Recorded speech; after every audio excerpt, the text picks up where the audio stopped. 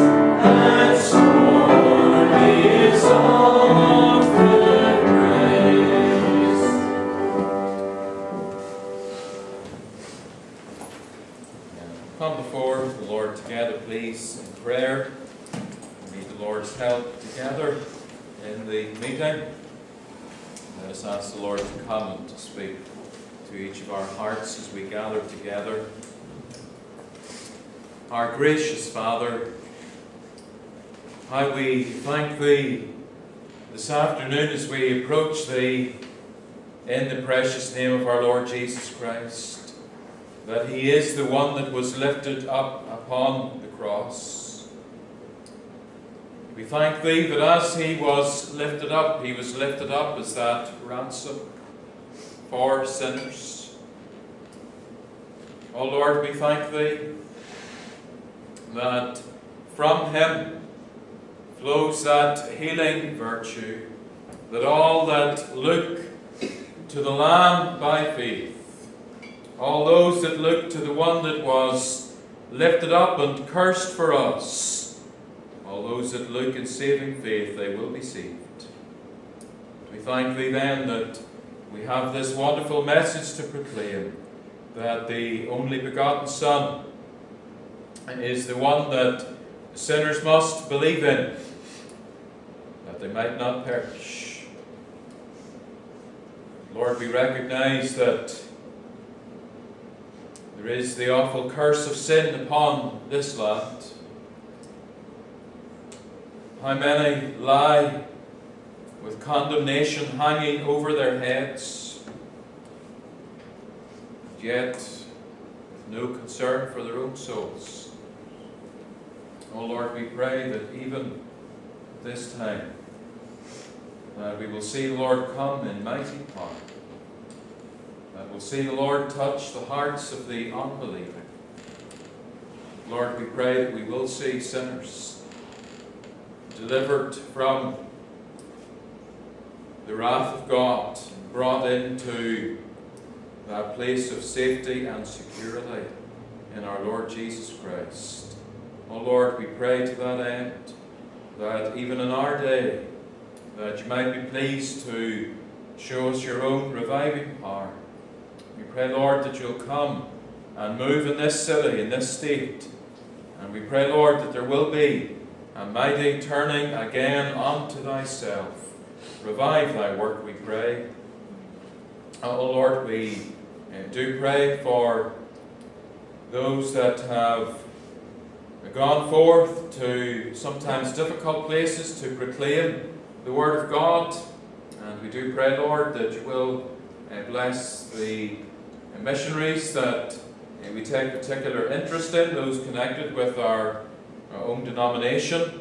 And we do pray, Lord, that you will be pleased to undertake. We pray very especially uh, for those that uh, are still uh, suffering greatly at the hands of uh, COVID 19 lockdowns. And, oh Lord, we pray that you will minister to your saints, give opportunities in evangelism. And Lord, we do pray that in the midst of all of the fear, that men and women will fear the name of the Lord.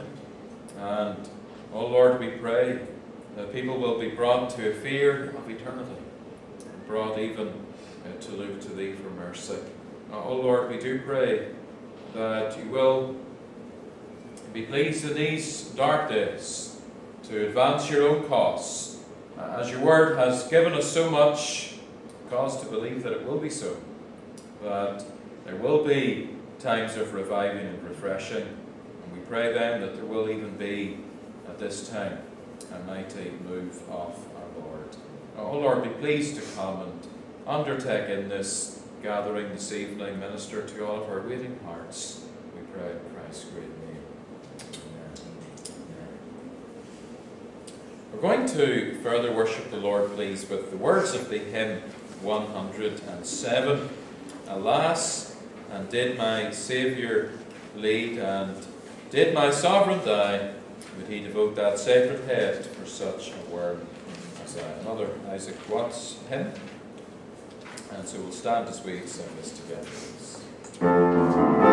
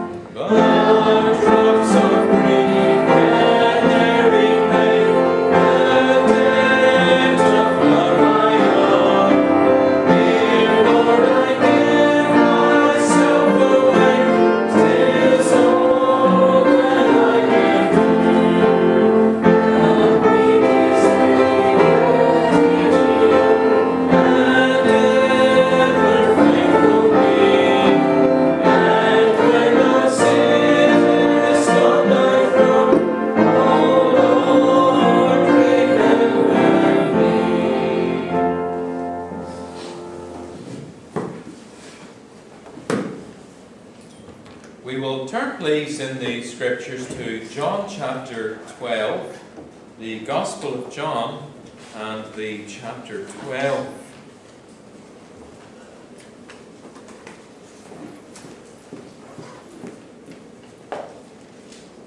John chapter 12, and we're going to read, please, from the verse 23. John 12, 23. And Jesus answered them, saying, The hour is come that the Son of Man should be glorified. Verily, verily, I say unto you, except a corn of wheat fall into the ground and die, it abideth alone. But if it die, it bringeth forth much fruit. He that loveth his life shall lose it, and he that hateth his life in this world shall keep it unto life eternal. If any man serve me, let him follow me, and where I am, there shall also my servant be.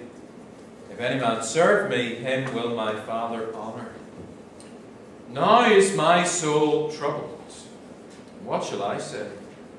Father, save me from this hour. But for this cause came I unto this hour. Father, glorify thy name.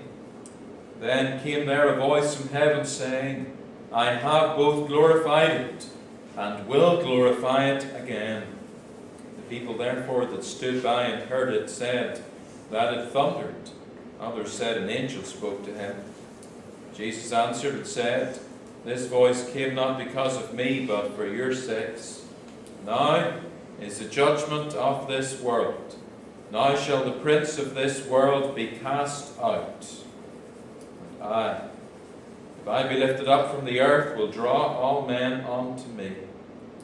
This he said, signifying what death he should die.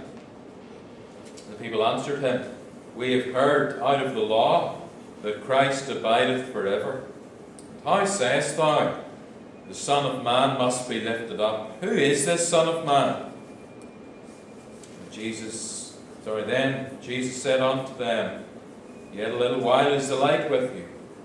Walk while ye have the light, lest darkness come upon you. For he that walketh in darkness knoweth not whither he goeth. We'll end there, knowing the Lord will add his blessing to the reading of his precious truth. We'll have now the Catechism. We'll come to the question 90. How is the word to be read and heard that it may be effectual, it may become effectual to salvation?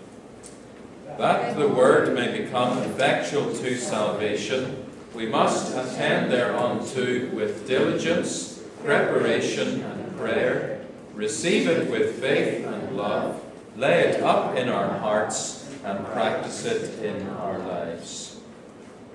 And so, uh, salvation here is in the uh, broad sense that the Christian can say that we have been saved, so we've been delivered from the penalty of sin. The, the Christian is being saved. We are being delivered from the power of sin. So the Christian is to be progressing. In that sense, we are being saved. But then we will be saved in the sense that we will be delivered from all, even the presence of sin. We'll be delivered from the presence of sin. We will be presented perfect in heaven. So we have been saved, we are being saved, we will be saved. And the uh, words here, that the word may become effectual to salvation, we are to understand them in this broad way, that it does relate to the unconverted, but it is also dealing with the Christian, that we are to be progressing in holiness, and in this sense that uh, we are being saved then, the, the word is to be effectual to us. And so there is to be preparation for the reading and hearing of the word. There's to be preparation for uh, our own quiet reading then of the word as well, uh, as of coming to uh, the, the public place where God's word is read and preached. So there's to be preparation, but then there must be penetration, as there is this preparation. It speaks then of how the word is to be received with faith and with love.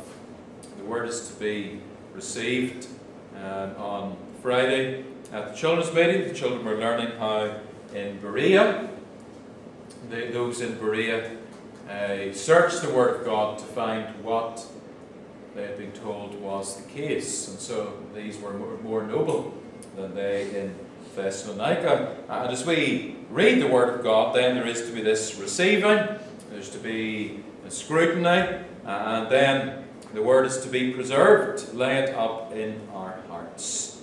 It is to be preserved, and then it is to be performed. Practice it in our lives. It's not enough just to hear the Word, but we are also to be doers of the Word. May the Lord help us not just to be empty hearers, but those that obey the Word of the Lord. May the Lord bless those few thoughts to our hearts.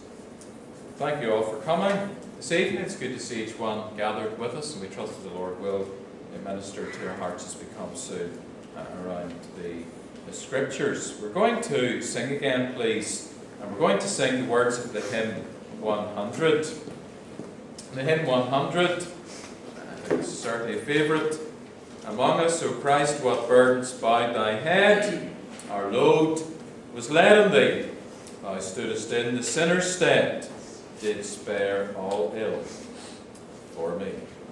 The hymn carries the title, though it's not printed here, Substitution. And what a wonderful truth is set forth here that Christ is the great substitute. The hymn 100, remaining seated, please, as the offering for God's work is received.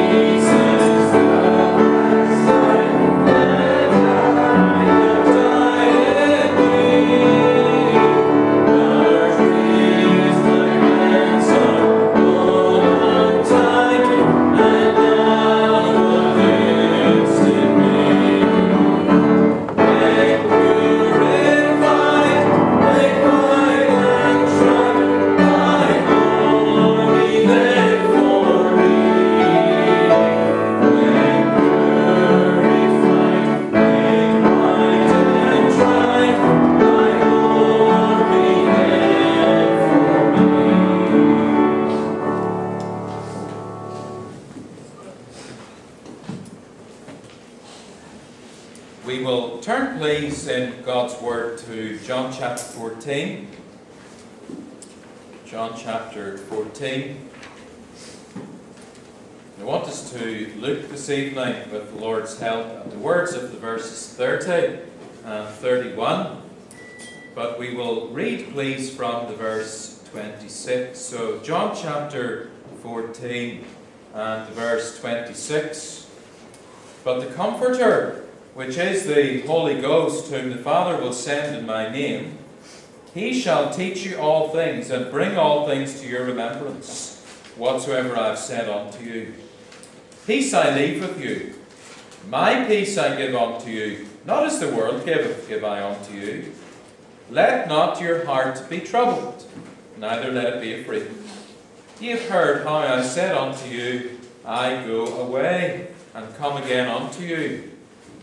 If ye love me, ye would rejoice, because I said, I go unto the Father, for my Father is greater than I. And now I have told you before it come to pass, that when it is come to pass, ye might believe.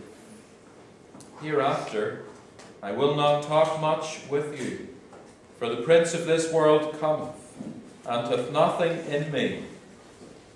But the world may know that I love the Father. And as the Father gave me commandment, even so I do. Arise, let us go hence. We trust the Lord will again bless the reading of His Word. We'll seek the Lord's face together, please, in prayer.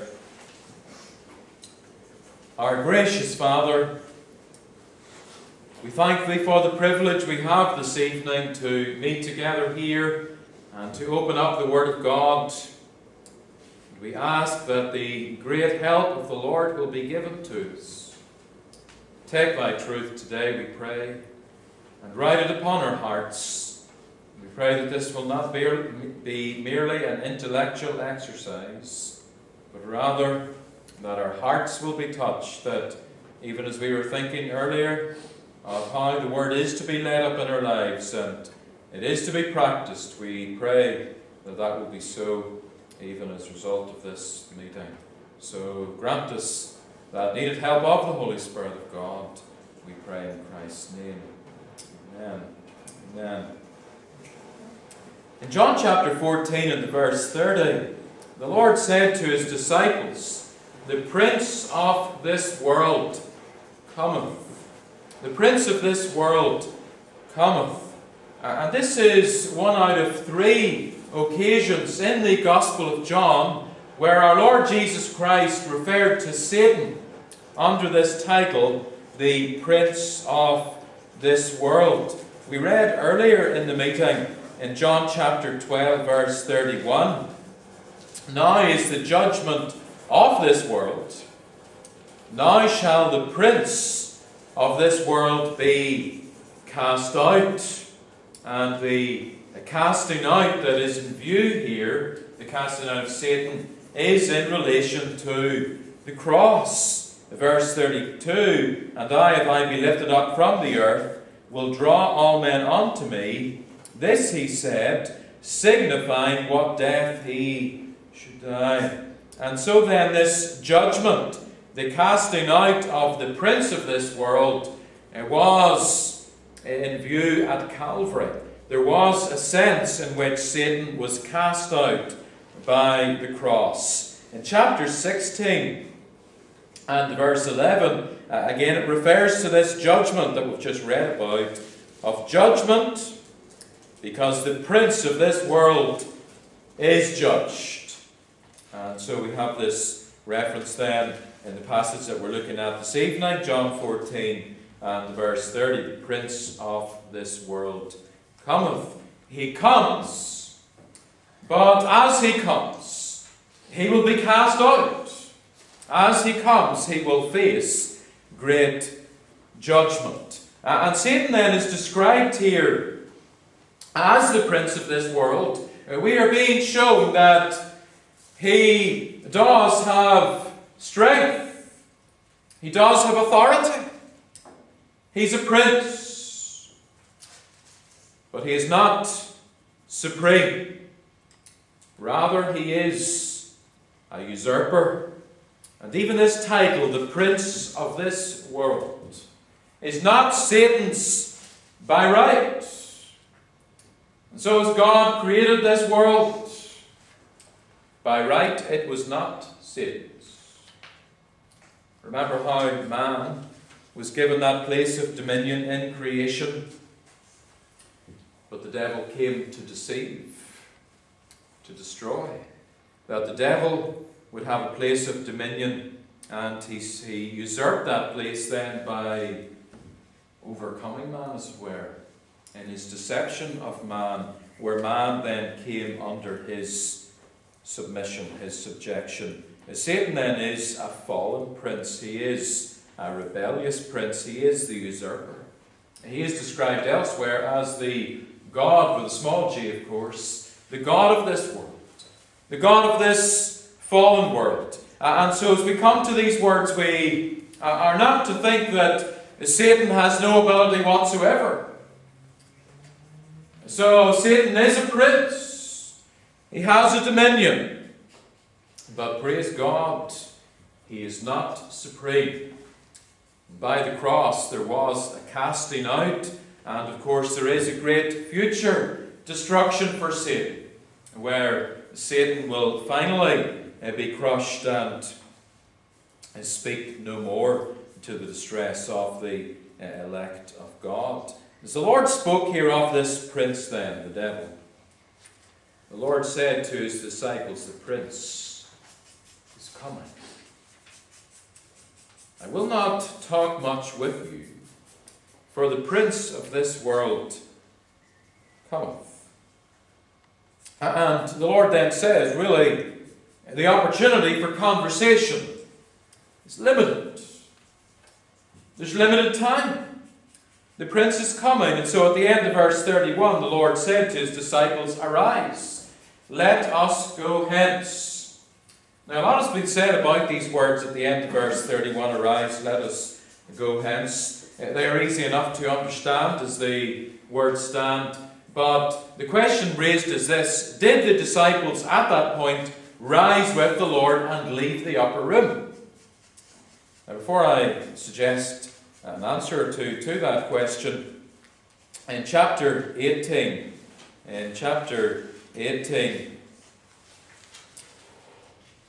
we read a detail concerning the Lord's movements. Chapter 18, the verse 1. When Jesus had spoken these words, that's the words of his high priestly prayer in chapter 17.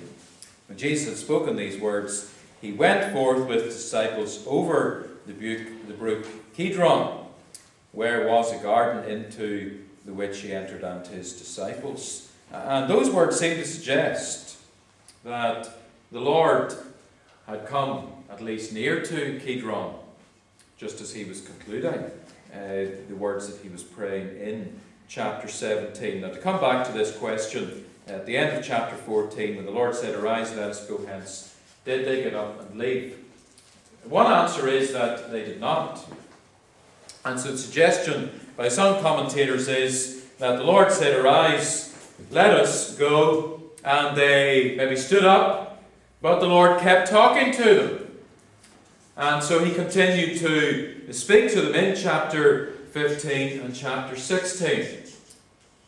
We all do that. Some of you maybe do it more than others when you say, I'm going, but you're still there half an hour later. And so some suggest that's what in view here, that the Lord was showing that it was very soon when they needed to leave.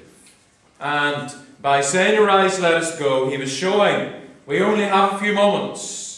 And so he continued to speak in these next two chapters. Another view is that the Lord and the disciples did actually leave at that point. And uh, those that suggest that uh, say that when in chapter 15, the verse 1, the Lord said, I am the true vine. That perhaps now he had moved through some of the streets in Jerusalem. And he was pointing to a vineyard. And he took this up then, this illustration of himself as the vine. In chapter 17, as the Lord prayed, it says, These words spake Jesus and lifted up his eyes to heaven.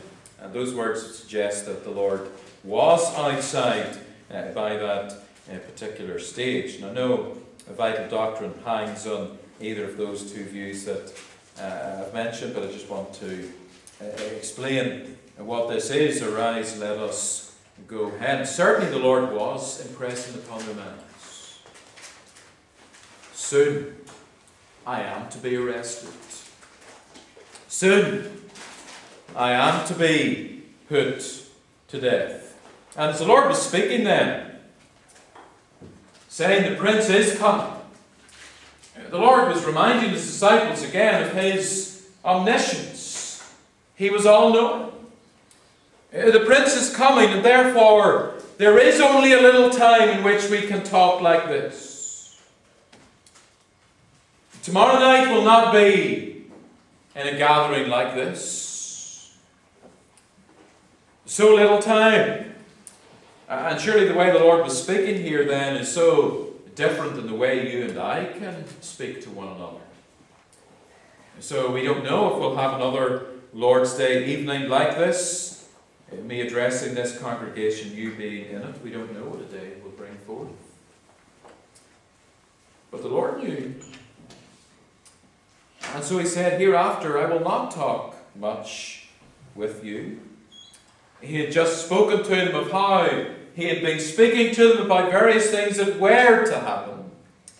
And he says, I've told you these details before it happens, But when they do happen, that ye will believe. And so again, as the Lord was saying, the prince is coming. In coming days, the disciples would look back and they would say, The Lord knew what lay before. The Lord's omniscience was evident. Since he was omniscient, he was therefore able to accurately prophesy what lay ahead. And these were moments of exhortation. Yet I believe they were also words that were very prophetic. And for these next hours, the prince of this world cometh. What the Lord said here was fulfilled. And so I want to consider with you this evening the rebellious prince is coming uh, and think about the, the, the prophecy that's in view here. First of all, there's a prophecy of legal confusion. A prophecy of legal confusion. Uh, worldly legal confusion. The Lord said here in verse 30, Hereafter I will not talk much with you, for the prince of this world cometh. And notice these words, and hath nothing in me. And hath nothing in me. What does this mean? That Satan is coming, but he doesn't have anything in me. What has been emphasized is this that Satan cannot make any effectual or accurate accusation against Jesus Christ. So Satan would do his best, of course, to raise accusation, but he cannot make any accurate or effectual accusation against Christ. He hath nothing in him. Satan had nothing to hang his case on. Charles Ross said, He has no sin on which to fasten his arrows. A.W. Pink said there was nothing combustible in Jesus which Satan's fiery darts could ignite. Uh, those quotations are reminding us that Satan works by accusation. And so Satan then would seek to raise an accusation against Christ, to bring about his crucifixion. Now, in relation to Satan as the great accuser, against mere man, he can bring various accusations. Now, for the child of God, those accusations will not stand. But the, the devil can bring accusation against the sinner. We have sinned. We have broken the holy law of God. But against Christ, there could be no accusation. He was the Lamb without blemish, without spot. And so Satan then, as he was coming against Christ, remember this is what the Lord is saying, the prince of this world cometh. Satan had a problem. because he wanted Christ to be destroyed in death. And yet there was no accusation on which that death could justly be brought about. In relation to Satan's attack at the cross, Satan made use of instruments. And he still does. Ephesians 2, verse 2, it speaks there of Satan as the prince of the power of the air, the spirit that now worketh in the children of disobedience. And so Satan takes the unconverted, he works in them. They are the children of disobedience. And now there are times as well, sadly, where Satan can even use the Christian to bring words that are untrue. Remember that time when Peter was trying to tell the Lord there was no way that he would be put to death, and the Lord said to Peter, Get behind me, Satan. And on that sad occasion, Satan was a spokesperson for the devil. Sadly, there can be times that uh, we can even be a spokesperson for the devil, uh, but chiefly, it is the children of disobedience that are Satan's instruments. And certainly that was the case in uh, our Lord's crucifixion. Judas was an instrument. Remember that night as the as Judas left the upper room, we have those words that he went out and it was night. It was night. And surely that is saying more than Judas merely opened the door and it was dark outside. That, that was true. But as Judas opened the door and left that upper room, he went out in servitude to the Prince of Darkness.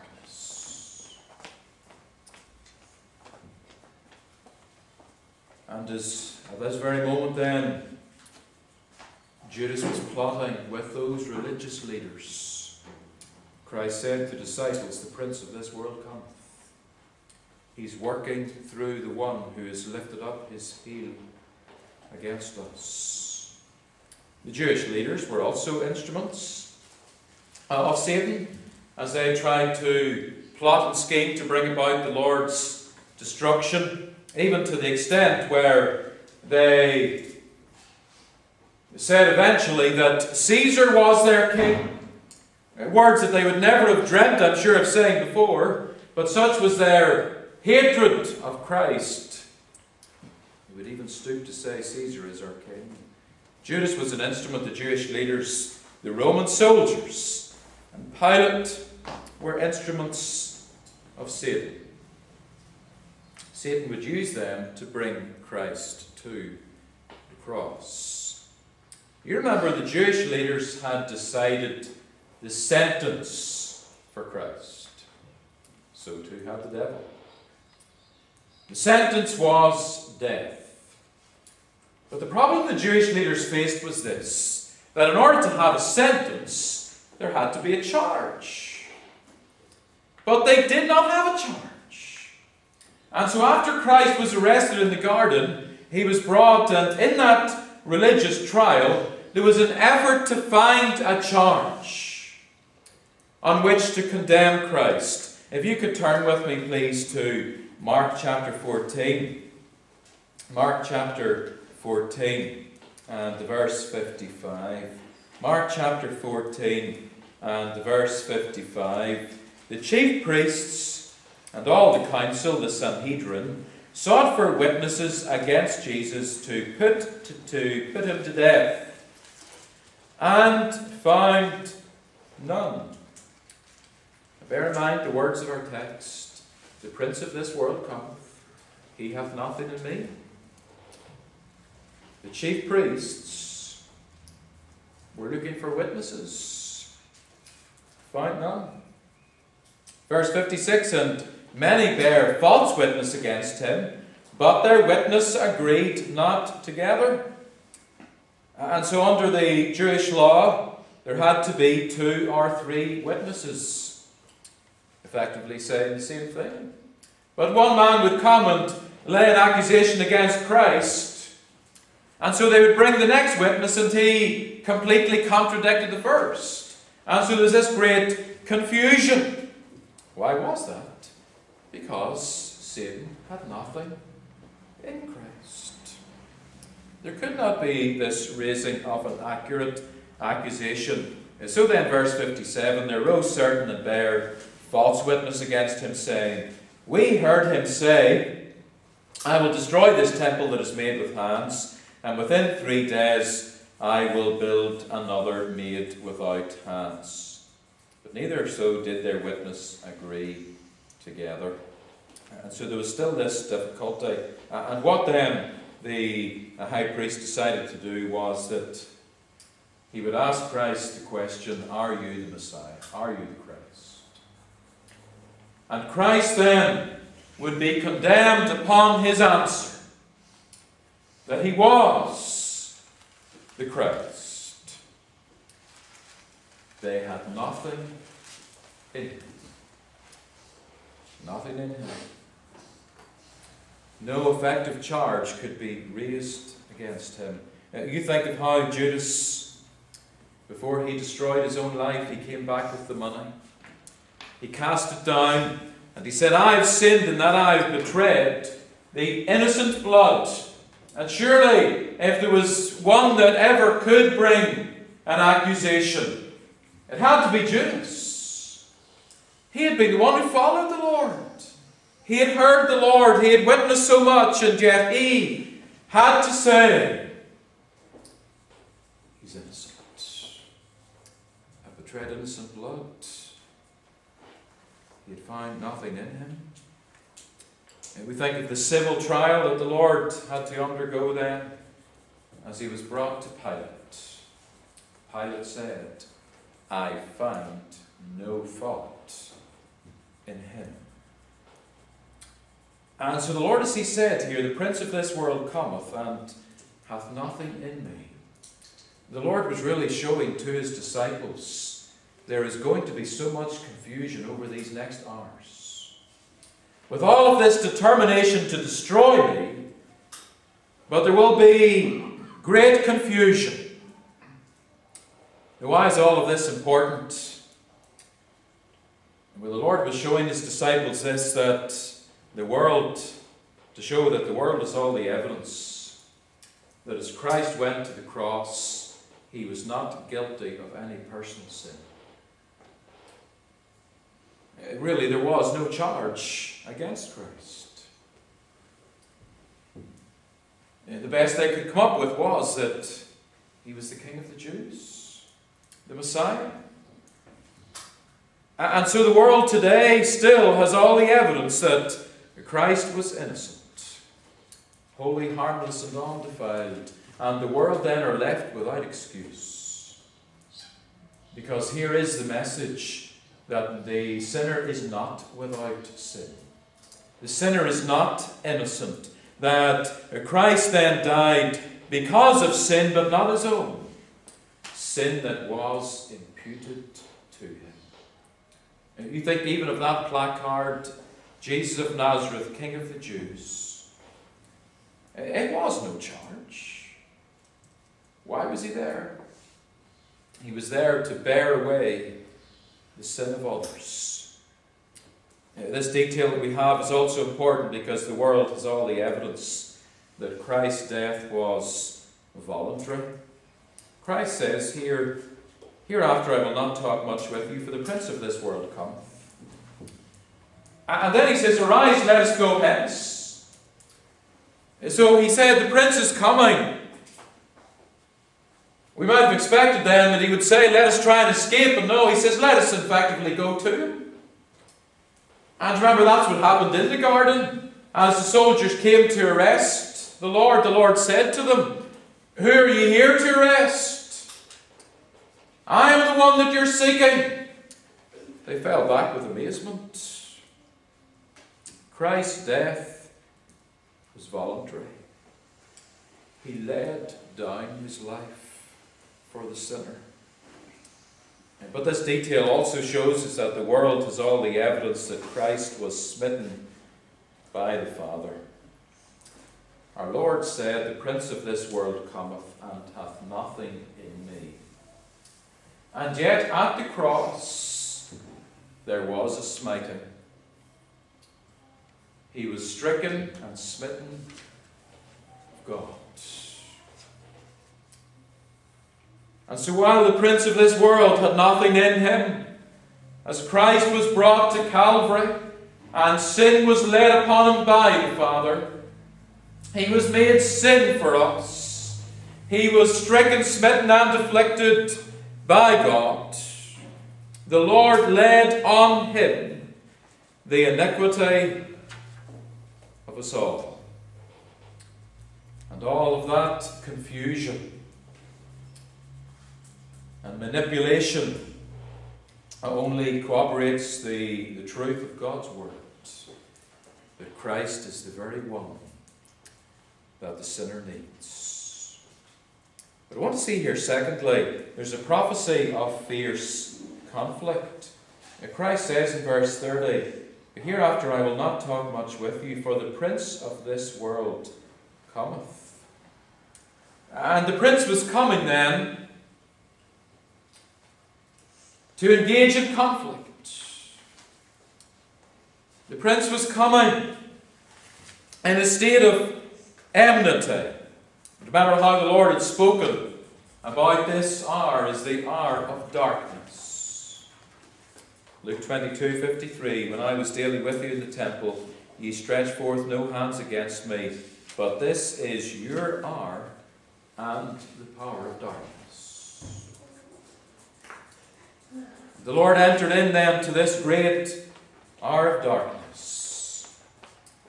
And that great prophecy of Genesis 3:15 was coming to one of its grand fulfillments. Remember how in Genesis 3:15 there was that great preaching of the gospel, I will put enmity between thee and the woman, between thy seed and her seed, it or he shall bruise thy head, thou shalt bruise his heel. And Satan then was coming, and he wanted to bruise the heel of Christ. And there would be great enmity, eh? and there would be a bruising. But praise God, there was this great victory. Christ would bruise the head. Christ would bruise the head of Satan. I'm thinking of that detail of Satan seeking to crush Christ's heel. Don't we see evidence of that? Uh, as we witness the Lord from his arrest, the brutality, he was beaten. Remember the psalmist likened the beating of his back to the ploughing of a field. He was beaten. There was that mock coronation, the crown of thorns brought down upon his head. He was dressed and dressed in that robe, but then the robe was torn from his bleeding wounds, nailed to the cross. It was all the taunting and jeering at the cross. What was this? It was Satan seeking to crush the heel of Christ. But as Satan lifted up his heel, Christ lifted his. Christ bruised. He crushed the serpent's head. Where does the strength of the snake lie? It lies in its venom. It lies in its head. And Satan then is the great accuser. As we think of Christ then as he crushed the head of Satan, Christ has dealt with this very matter of accusation. There was great conflict, but what a conquest on that resurrection morning as Christ came forth triumphant. Satan didn't get to sing long. He didn't need much sheet music for that particular song that he was singing. And Christ then crushed Satan at his most strong and poisonous pleas. The cross silences the hiss of Satan. And I want you to look with me then, verse 30, in another light. Hereafter I will not talk much with you, for the prince of this world cometh and hath nothing in me. And men and women, if you're in this meeting tonight and you're converted, those words relate to you as well as they related to Christ. Satan hath nothing in you. Yes, you have sinned, and you do still sin.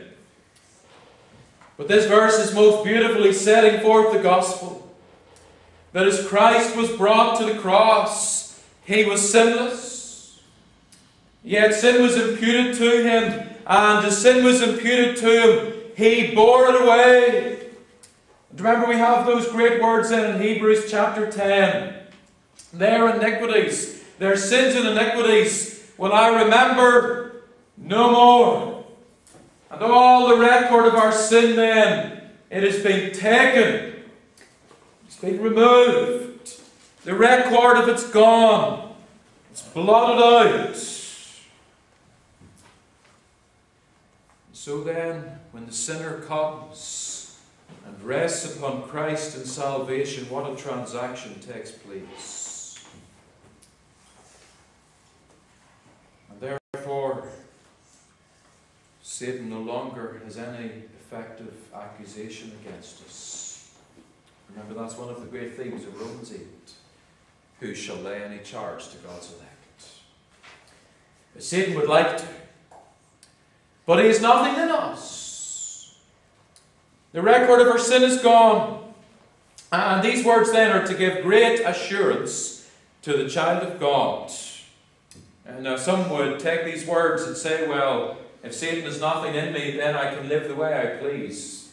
Uh, it's a twisting of God's word. Satan has nothing in us. Let us then live to the glory of God. As Christ had said, if a man will love me, he will keep my words. Uh, these words drive us to evangelical obedience, to Christian obedience. And tonight, then, dear believer, how we can rejoice.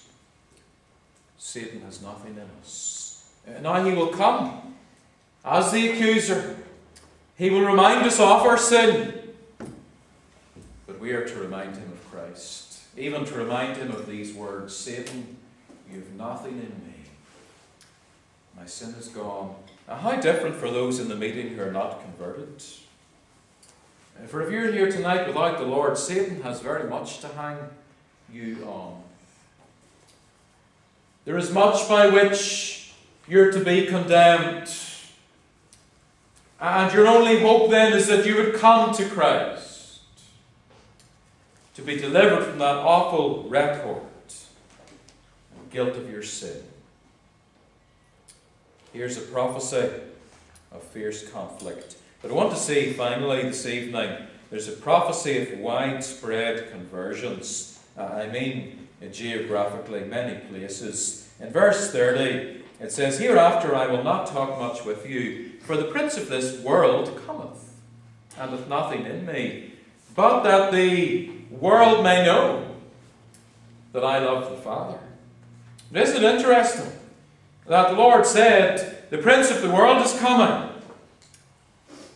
but the world will know that I love the Father. And so Satan is this governor over a fallen world. But from that fallen world, from that company of fallen mankind, there will be a people brought who will know that Christ loved. And he was perfectly submissive to the will of the Father in going to the cross. So it wasn't Satan's accusation that got Christ upon the cross. It was Christ's obedience to the will of the Father. Christ's love of the Father, that the world may know that I love the Father. And through the cross, then, the devil is stripped of his power. We have Something similar taught in Luke chapter 11, though it's a different figure of speech that's used. In Luke 11 21, when a strong man armed keepeth his palace, his goods are in peace. And the idea there is that the devil is a strong man, the prince of this world. And the devil, as this armed one, keeps his palace, his goods are in peace, in the sense that the souls are secure under his control. They will be lost. And the reason for that is Satan raises accusation. And the sinner is condemned on the basis of sin. But in Luke 11 22, but when a stronger than he shall come upon him and overcome him, he taketh from him all his armour wherein he trusted, and divideth his spoils. Uh, and so Christ then has entered into the house of the strong man. And Christ is the one that is stronger than the strong man. Uh, and Christ then has taken this people. He has removed all record of their sin, uh, and thereby he has taken from Satan his armour wherein he trusted and divided his spoils. And so, all through the Old Testament, generally speaking, the nations were kept in darkness. And Satan, as the prince of this world, kept a palace. And the goods were, generally speaking, not being taken from him. But in the cross, Christ has entered into that palace. And Christ then is taking a people onto himself. Satan can no longer be the one that holds them. Christ has gone to uh, relieve sinners and retrieve them from that awful tyranny of the devil. And therefore, I believe verse 31 is speaking of very definite conversions, but that the world may know that I love the Father. Now, if we speak to the unregenerate and say to them, Christ loves the Father, generally speaking, that is not something that interests them at all. Who in Perth tonight is really interested in this detail that Christ loves the Father? It's those that are, that are converted. And so, for the Lord to say, The world may know that I love the Father, and, that, and as the Father gave me commandment, even so I do, this is a great promise of conversions. That people who have no interest in Christ, that have no interest in the gospel, are suddenly taken by the work of the Spirit. The Lord deals with them. And when the Lord deals with them, they do know and they treasure this truth that Christ loved the Father. He obeyed the very commandment of the Father. You remember Judas, not Judas Iscariot, the other Judas, had been very keen that Christ would make a manifestation to the world. Verse 22 Judas saith unto him, Not Iscariot, Lord, how is it that thou wilt manifest thyself unto us and not unto the world? Uh, and what Judas, and of course the other disciples too, what Judas wanted was a political type kingdom. He wanted a physical throne to be set up. And he wanted even the Romans to be brought under the submission of this great throne of their Messiah.